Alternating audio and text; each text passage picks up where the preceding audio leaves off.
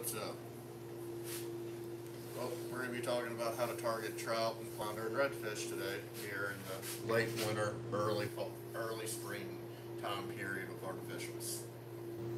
Time of year you have to normally size down all your tackle due to the bait sizes going down.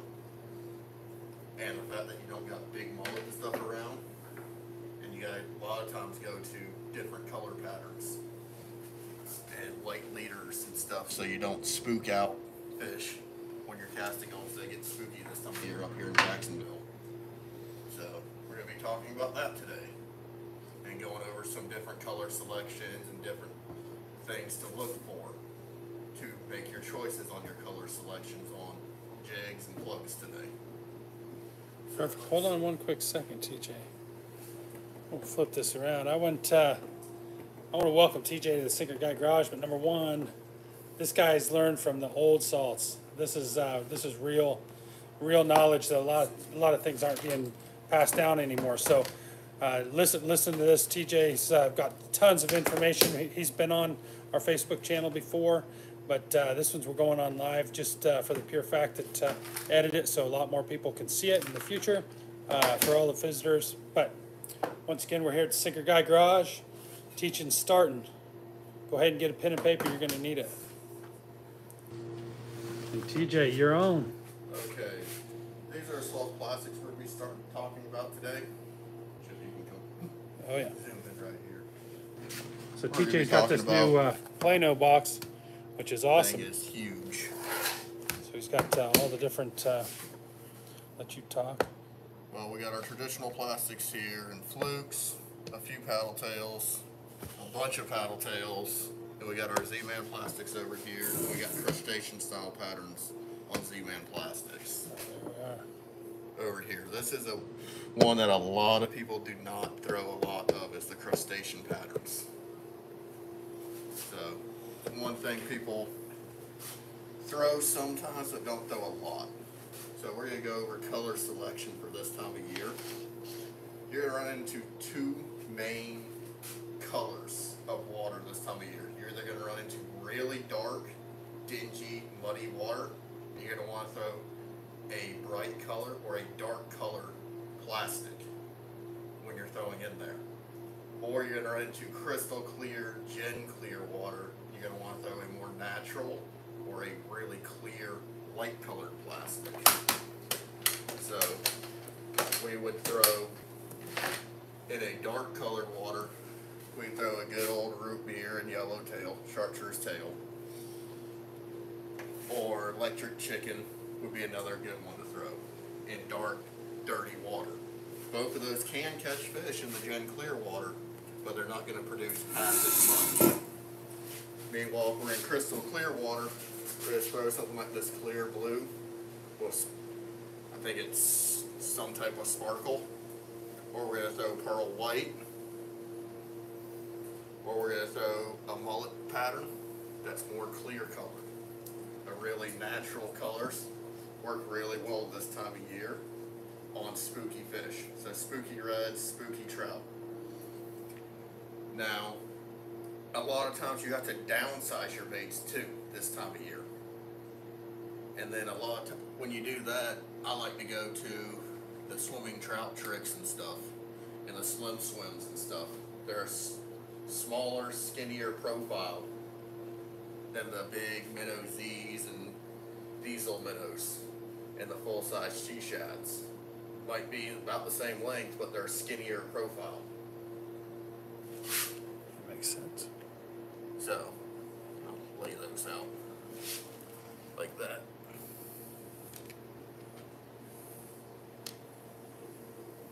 So, but there's a flip side of it too. If you're targeting big gator trout in really skinny water where there's no glass minnows or any mud minnows or anything, you have to throw a really big bait and work it really slow. That's where I throw a big old grass kicker up from the Z-Mans, or I'll throw a, or I'll throw a die dapper from Bass Assassin. These things are big. they weigh a bunch, you can throw them really far and they swim well. They just mimic a really big mullet. So you have to play play the keeps of thought process of do you want numbers or do you want size? Because that big fish he's gonna eat one time in a week in these cold 50, 60 degree water temps. The small fish are gonna eat a bunch. So you have to sit there and play your part of what do you want to try to target that day. Do you want to get that one big hero picture of the big giant gator trout? Or do you want to go catch 50, 60 trout in one day? You can also throw crustacean patterns when you're working really slow this time of year. You're fishing a lot of creeks. You have to throw shrimp patterns. We're saying throw shrimp patterns, we mean you're throwing a shrimp and you're letting it drift almost, just barely dragging it. So you'd throw easy shrimp, a DOA shrimp. I like really clear, natural style colors on DOAs and stuff. For this time of year and in the spring and late spring, early summer, I like natural colored DOAs, look at that really clear ones. And they work really well this time of year when you're working them slow.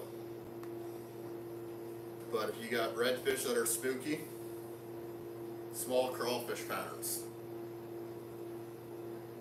Run them weedless, run them with a small lead head, something on them. Because the reds will eat crabs. No matter what time of year it is, a redfish will eat a crab. If you have a school of really spooky reds, size your tackle down, go to the lightest leader you can get away with, and the smallest lead head you can get away with to throw. This time of year, I would recommend a thousand size spinning combo with the lightest braid you feel comfortable with, and a 10 pound or less leader. 15 would be starting to push it for the time of year because it gets really gently this time of year. Another crawl pattern for a bigger crawl pattern for people that don't think the little TRD crawls will work. Oh yeah. Another thing, always carry a good selection of colors because you never know what's going to work that day. People that carry one or two colors because it's their favorite color will catch fish. They will have to look a lot harder for those fish. If you have a decent selection of colors and a wider selection of colors, you can you have more options to convince the fish to eat. If you come look, I got a bunch of natural and non-natural colors. So that looks like a mullet. It's got some iridescent colors to it and a lot of sparkle. Same thing with that. That'll end up looking like a mullet in the water. This does not look like a mullet. Best selling color in North America. Caught more trout on it than I want to believe. Another one of those old school colors that I actually do not see people throw anymore. Then you get to stuff like this. This is when they don't want to bite anything and you just decide to throw something different at them to see if they'll bite. You always have to have a few of these because the little oddball stuff on really tough days, on really pressured systems, will get bites. And it will convince fish to come and eat. And it actually scares people when you start to throw a bright yellow bait or a bright orange bait. But another one of those like gen clear colors. Yeah. All those work really well. Really natural setups. Natural color setups work really well too this time of year. So, this is what's been working for me a lot lately. Is that clear blue glitter of a, I think it's a fifth ounce lead head. Throwing on eight pound mono, straight mono on a bait caster. This is a six to ten T Allen bait caster old school Revo that I've built up and blown up and built up a few times. That's been working really well. Forget what color this is from Z-Man on their Easy Shrimp. This works really well this time of year. Just looks like a shrimp floating through there. It's on 10 pound Berkley X9 braid to 10 pound Seaworks Fluoro. This has been working really well too.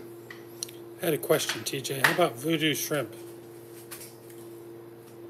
They work, but you can't put them with anything and you can't put them in a tackle tray.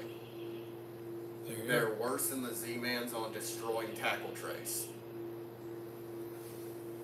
They will work. I don't like some of the colors. I don't like the actions that much, but with most shrimp patterns, the action doesn't really matter.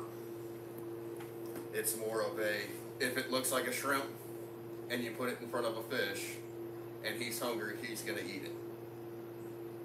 So that's where I normally will throw a DOA or one of these Z-Man shrimp up there, two styles they have. This is a scented shrimp by Z-Man. These work really well. You can rig them weedless and throw them up in the grass and stuff. I got two different colors, three colors of those. A lot of times, the little chartreuse tails and stuff will end up getting you a lot of bites too on these really natural colors because it's something for the fish to key into to catch their attention. Same way Chip and everyone uses floats called pompano fishing. A lot of times you'll see chartreuse tails, orange tails, blue tails, something a little bit different to catch that fish's attention when it pops up off the bottom or something. So that's one way. Here's here's some little didappers, the little three and a half inch didappers. Oh yeah. These work really, really well on trout when you're around finger mullet because they got a almost perfect mullet profile. You rig these on a two or three aught bass hook, or you run them on a little lead head. They swim just like a little mullet. but They'll come in and just destroy them at times. Then some more of the weird stuff like here's an old school bait for everyone hmm. old Cocahoe minnow. This is their pearl and black color. This is an old school color.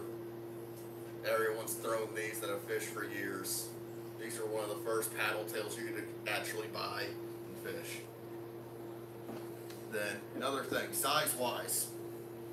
There are times where you have to drop your size way down little two inch shad tail. Cannot tell you how many times I've had to drop down to these. To throw these on a 16th ounce lead head, you have to have a little tiny light combo. There are times to where those fish are feeding on glass minnows, little baby pogies, little baby mullet that are an inch and a half, two inches long, and you throw anything bigger than a two inch bait, they're not gonna touch it they're just keyed in on a certain size bait. And you'll see that a lot of times this time of year. And then there's those random ones like having a Zoom trick worm. Old school bait, people have thrown them for years, not talked about.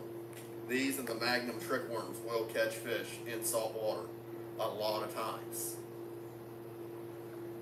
And people don't like to talk about it too much and then they don't throw it too much until they can't think of anything else to throw. And then it's like, eh, let's try this. That's how I figured it out. Was a, well, nothing else is working, let's throw this color. Here's another really good bait fish pattern. It's got a lot of sparkle and iridescence in it. A lot of iridescence get in these traditional style plastics. And uh, little iridescent glows and stuff and shimmers will a lot of times convince really spooky trout and redfish to actually come up and drill these things. You will see some big blow ups on them in shallow water, running them weightless on light rods, working them around oyster beds, and you'll get big blow ups on them. But if you don't got them in your box, you're not gonna find, you're not gonna get bit like that. A lot of times. T, uh, another question Christina had was, uh, do you add scent to your baits? Sometimes I do, sometimes I don't. When I do, it's normally a pro ProCure product because I can apply it right there and it's a gel. With the pro ProCure stuff, everyone's got their favorite flavors. And that's just kind of one of those funky things to where everyone's got their flavors they want to throw. And people just choose what they like. Like I got some right here of all my lead heads now. Here's all my lead heads and stuff for people. This is all the stuff I throw randomly from 10th ounce and 5th ounce Ned Rig lead heads to 2 aught TTX or Texas Tackle Factory swim bait rigs to run stuff weedless through grass with little screw locks on traditional plastics. I think that's an eighth ounce of a two aught hook. Then I got articulating football heads with four aught bass hooks on them for when I'm running weedless at times around rocks and stuff and docks. Those work really well. Eighth ounce lead heads quarter ounce stuff. Mix of them all. I got Trokars, I got Z-Mans, I got Strike King. I got Texas Tackle Factory in here. Let's see. That's the actual Trokar saltwater swim bait head that no one can seem to get their hands on anymore right now. That's a 2 aught Eagle Claw Trokar jig head hook on a swim bait style head. They work great. Here's some weighted bass hooks. I throw a lot of these up in the creeks and stuff when I'm fishing flounder and reds. Put one of those in those scented shrimp, and I've yet to have a redfish turn off of them. Psyched fishing redfish with them. But another thing is, always have a decent selection of lead heads too, because there will be times to where I had to go up to this half ounce swim bait head in high current to get fish to bite. I also throw these in all my spinner baits. Or I might have to go drop down to this little 10th ounce Z-Man head and a little micro bait to get bites. And a lot of people carry maybe an eighth ounce and a quarter ounce head.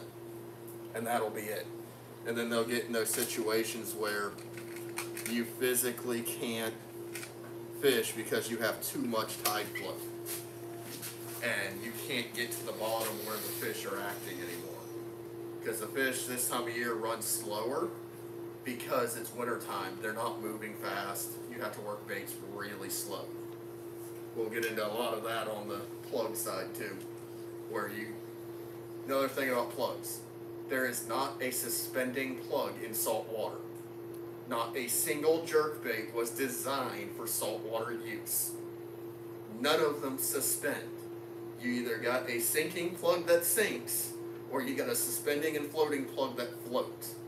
Unless you start playing with hook size, and you start playing with putting lead on them, lead strips, which we're not going to do today because we don't got a bunch of salt water and I didn't bring any of the lead strips with me today to start playing with that. We would need a 30 gallon tank and 30 gallons of salt water to start doing that. And I don't know if anyone wants to go that deep into down the that far down the rabbit hole. Start sliding some of these back in.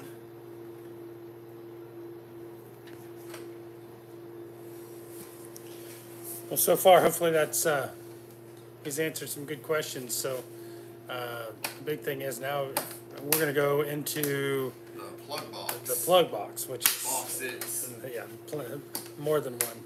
Uh, and look forward to, uh, uh, if you guys have any more questions, uh, just go ahead and put them in the live chat and we'll, uh, we'll keep rolling on it. And, uh, and we'll talk about some of the products that, uh, that TJ uses, uh, exclusively too, so, um, some local companies and obviously he's named some few, some local bait shops and, and, uh, we'll, we'll do all that too, so. I got a new iPad, so I, I, I'm looking at the middle of the screen, but there's the thing, so I understand. Another thing, spend the money and get waterproof boxes. There's nothing more frustrating than not fishing for two weeks and opening up a box and all your hooks are rusted out. And having to go through and replace all of that. It gets really expensive really fast. I've learned that over the years. Really quickly over the years. Especially if you're running a plug, a jig box and a plug box. Number one things, always put them in waterproof boxes. Spend the extra two bucks get a waterproof tray for them. We're gonna play some plugs now and talk about some stuff that may or may not have, certain people might think are top secret that are not. Because it's been well established. Trout and reds will eat top waters this time of year. You have to work them slow. If you look at my plug box, I have a mix of colors and sizes. I have some bright colors in top waters. I throw those more around nighttime. And then I have some natural colors for plugs and stuff that are I throw in the middle of the daytime. Deep diving crankbaits work great around rocks. Get out there on the jetties, get out there around the port docks, get out off the corners of all the islands, throw deep diving crankbaits on those drops. They catch fish. That's Johnny Carl put it now. Here a little bit. Good old Paul Brown baits. They made an appearance back here in Florida about five, six years ago. They started getting big, and everyone started talking about catching all these big trout out in Texas on them. They came over here as corkies and stuff in the late 90s, early 2000s before. So they're nothing new, they've just come and gone two or three different times. Depending on who's been winning tournaments out here this way. You got twitch baits, actual twitch baits, not jerk baits. I have one jerk bait in this bin because I didn't have anywhere else to throw it. So actual twitch baits, these will work great this time of year because they're a pause bait. You have three of your four basic options. I got a fourth one. I got the other two sizes over here, the twitch bait sizes, the big Sebile, and then the uh, most untalked about bait there is in Rapala's lineup, the subwalk. This thing, at times, can be the deadliest bait on the planet. At other times, you will not catch anything on it. It's the same thing with the Paul Browns. The Paul Browns will either be one of the best baits on the planet for you as a trout angler or one of the worst baits. They weigh a ton, you can throw them a mile. They have a funky darting action and they will actually suspend down there at about 18 inches to 24 inches. And they'll suspend down there. But they don't have a ton of action. They come straight if you're not jerking them. If you don't impart action in these, they just sit there. This bait you can walk the dog underwater with. It looks good. It looks like a big mud minnow. They make smaller sizes too. I just haven't found the smaller sizes in years. So I turned it into one of those. But same thing with plug colors. You're either gonna throw a really natural color in crystal clear water, or you're gonna throw something off the wall, color wise, in really dingy dark water. Like color I had to hunt for, an actual bait I had to hunt for.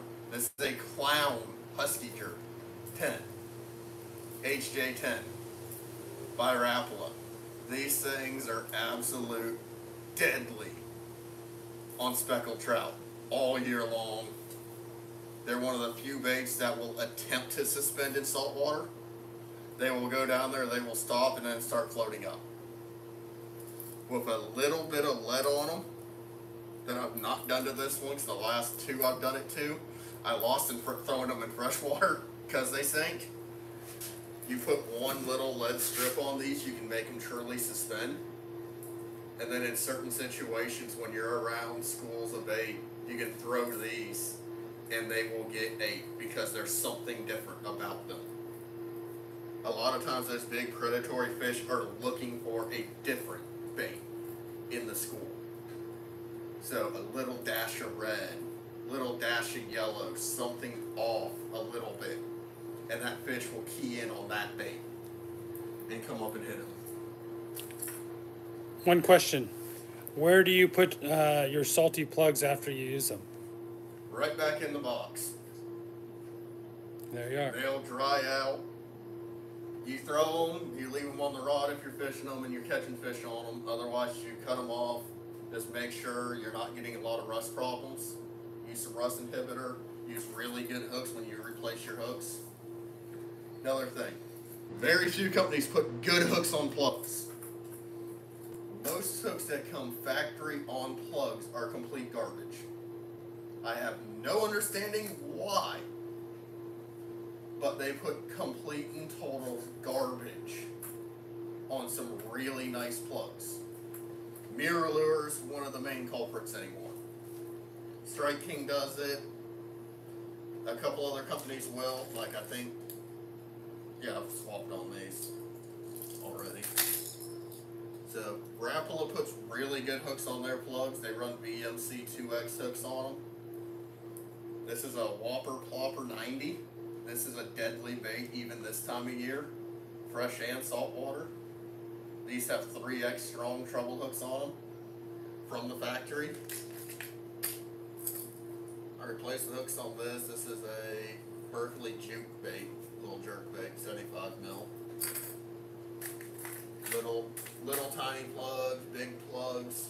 Keep a good selection size wise of plugs because you never know what size bait you're going to be around. Something this size mimics a glass minnow very well. Or a little baby, baby mullet. It's not gonna work if you're fishing around six inch mullet.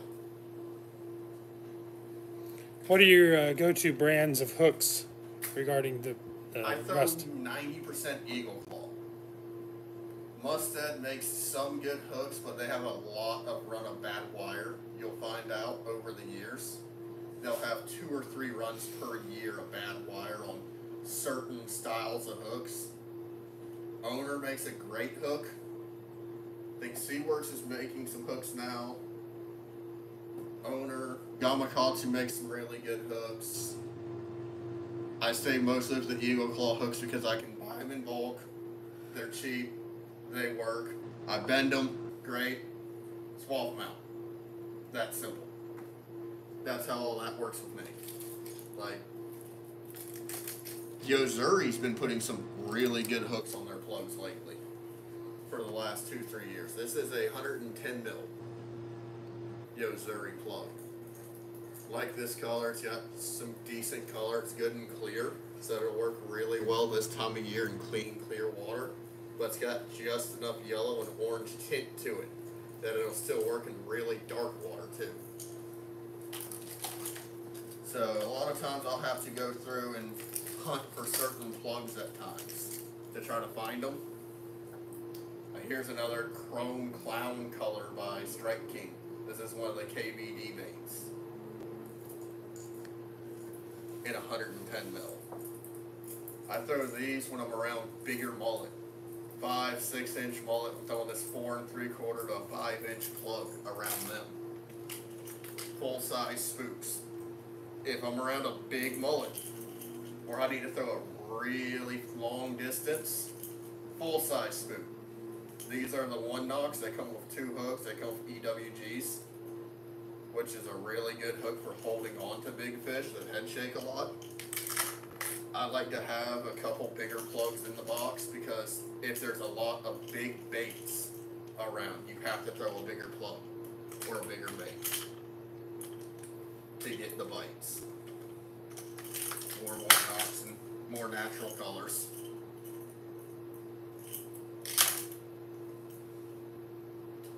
You tell that one's been chewed up a little bit. You can tell a lot of times by people that throw lures, you can go look and see how chewed up all their plugs are. If they throw plugs a lot. Like I got a bunch of newer stuff that's just little stuff. This is a, I think this is a Shadow Rap. This is one of their funky little, like muted colored bait fish patterns. Here's another Shadow Rap. Yeah, another husky jerk.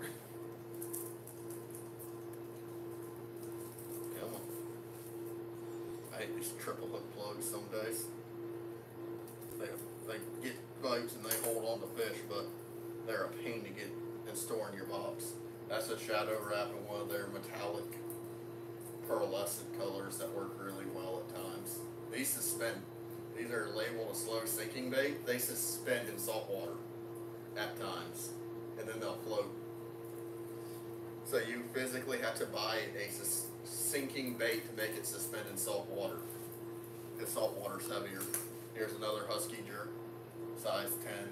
These things are before the X-Raps. These were the your best trout bait.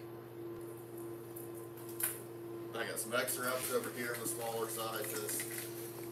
It seems like you either go with the small size or you go straight to the big ones anymore.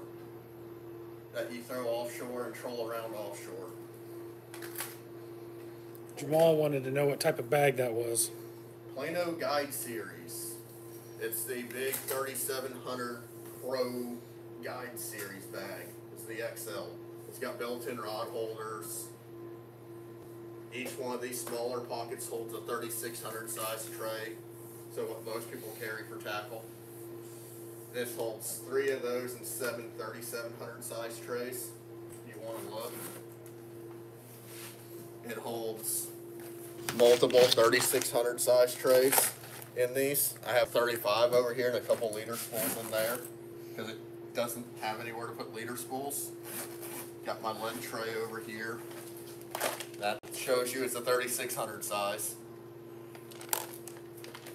Always buy the waterproof bag boxes. Saves you money in the long run. To spend a little bit more money at the time when you're buying the box. And he said a surprising amount of trays. And that holds. Yeah. Holds a couple more there. Hold another one there. Hold seven up top. Alright, now I got five in it. The two on the de- desk.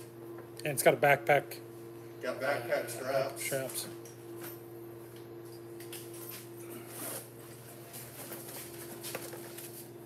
Backpack straps for it, so you don't have to just carry it on one shoulder. This thing sucks to carry any distance on one shoulder. Royally.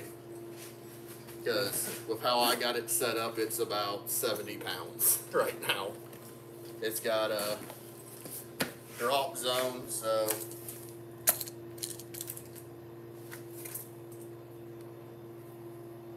Still holding on. still holding on.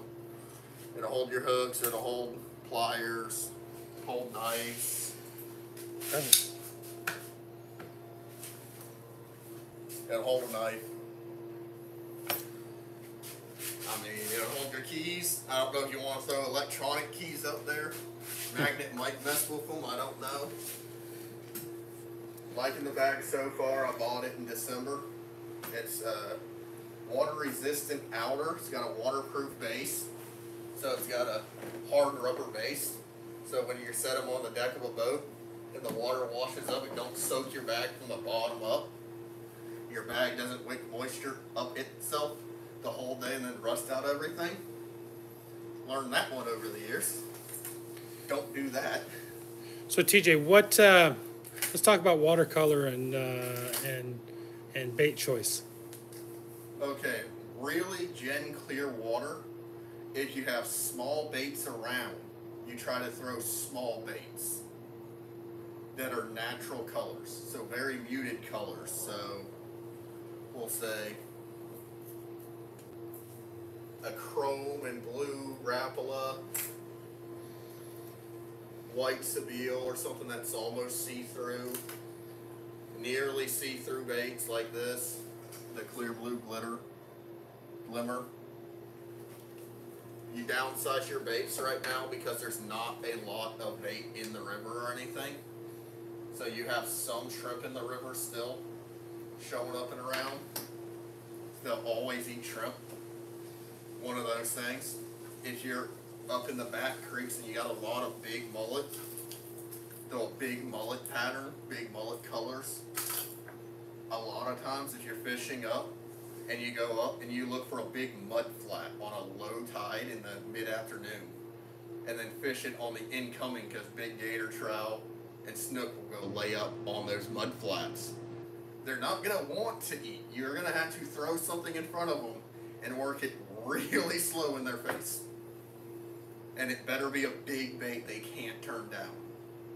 Big paddle tail, big sub, big sub walk. These hooks are sharp. You throw a big spook up there around them. If you're around really clean, clear water, you throw really natural bait colors.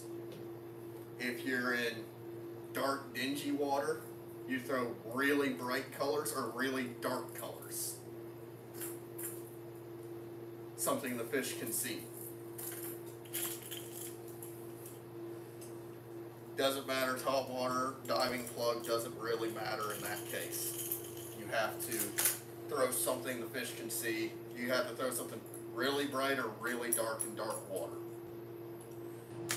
Another bait that almost no one throws in salt water anymore. That all the old school tournament guys will tell you to throw. Wake baits. Get up next to a grass line, get a baby one minus. This is a DT fat one.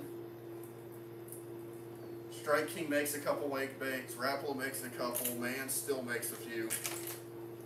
There's a few companies that still make wake baits. They work great for redfish. It's one of those funky patterns that no one really throws anymore. They all went to the MR17, the MirrOdine. These are EvoClaw 3X hooks on this one. I can't stand the stock MirrOlure hooks. I literally bend them, taking them out of the package half the time. Another thing this time of year, because it's winter time.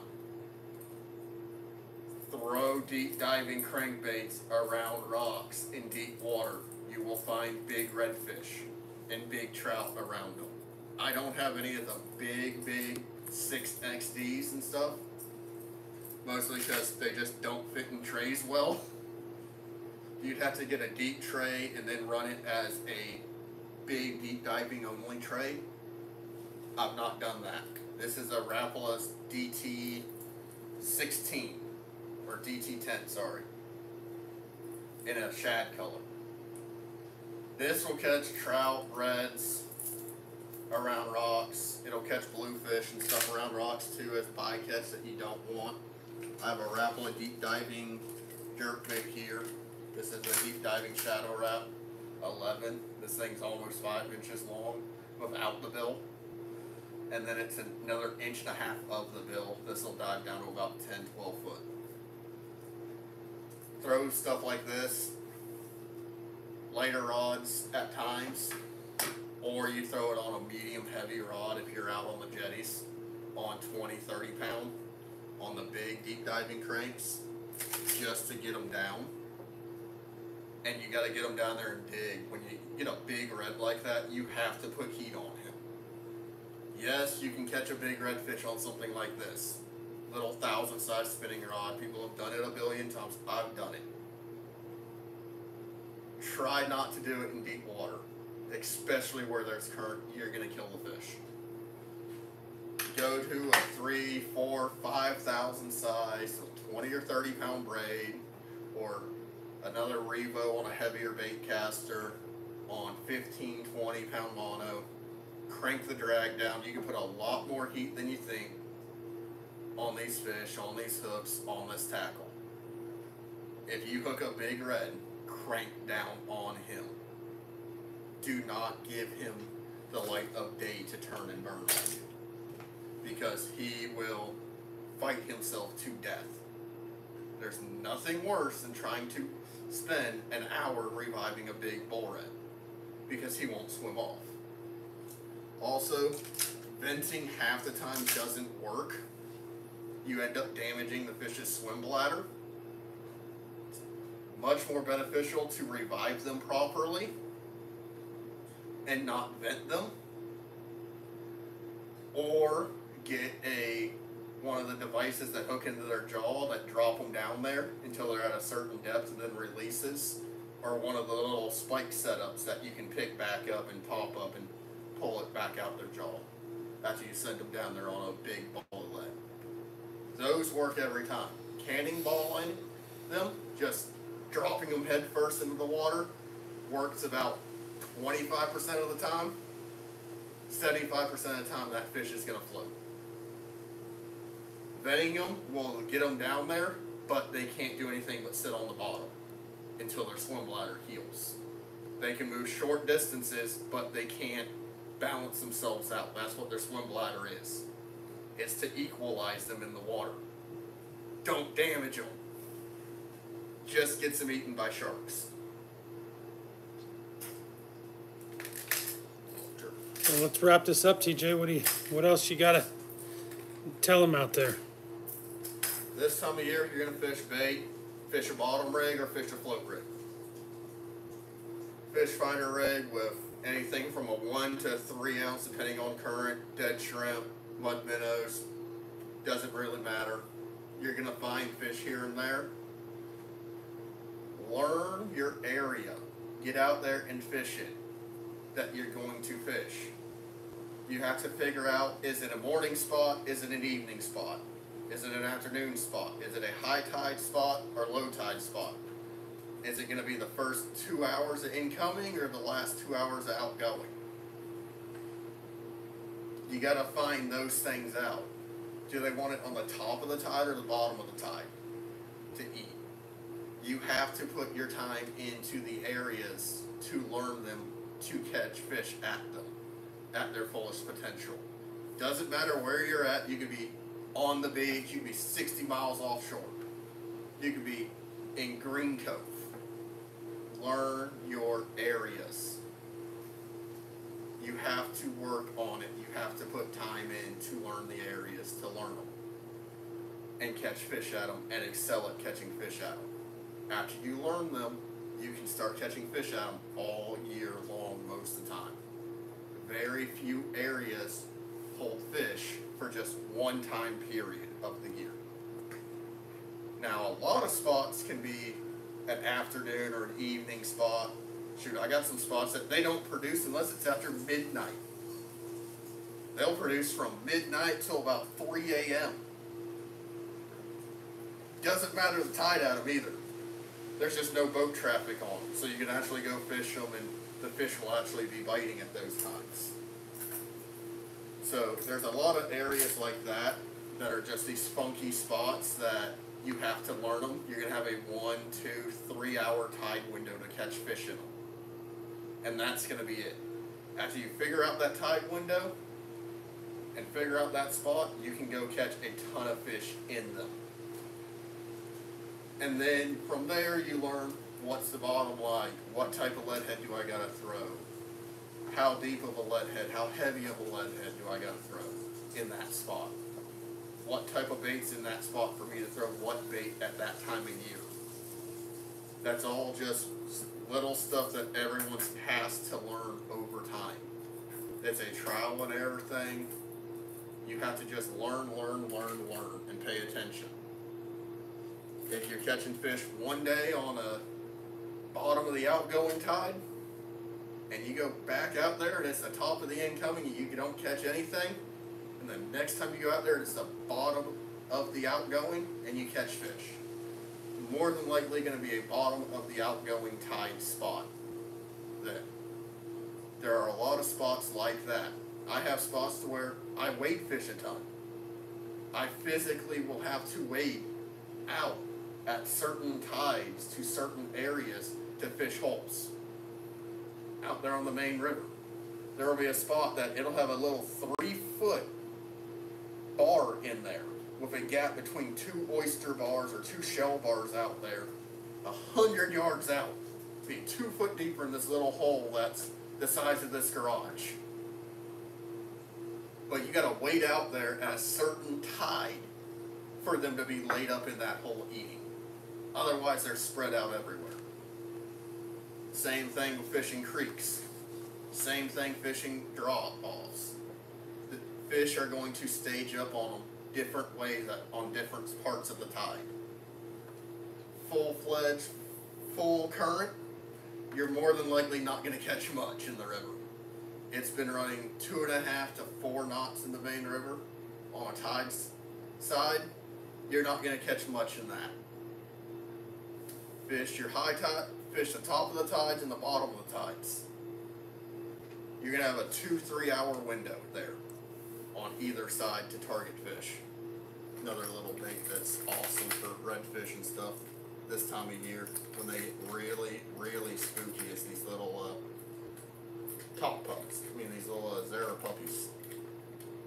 You'll get redfish and stuff up in the creeks that they'll come up and they'll wake a full they'll wake a spook junior or a full size spook but they won't hit it and then you throw one of these in there and you just twitch it about five or six times they'll come up and chomp it because they're keyed in on a certain size bait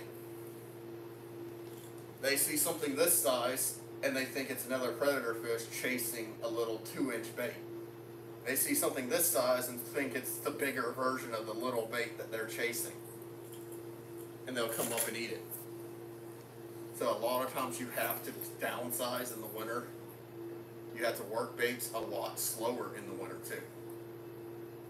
These fish are cold 50, 60 degrees.